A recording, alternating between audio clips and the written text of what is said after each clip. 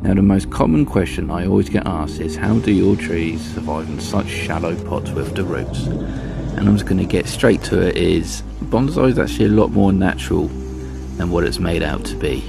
There's not much mystical about it and it will blow your mind. That not a lot of people know how roots form. Most of them imagine it like this when in fact it's actually like this. Roots don't often grow more than three feet deep. And if you ever see a tree that's blown over, you don't see a whole tree's worth of roots. It's literally nice and spread out. Obviously, there's some trees that like to be different, like the oak tree that will send a root far down to look for water. Or a particular tree that's grown in the desert that has roots down to 80, 90 feet.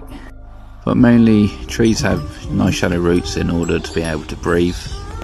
I know it's shocking, isn't it? So have a cheese toasty to help you swallow that truth.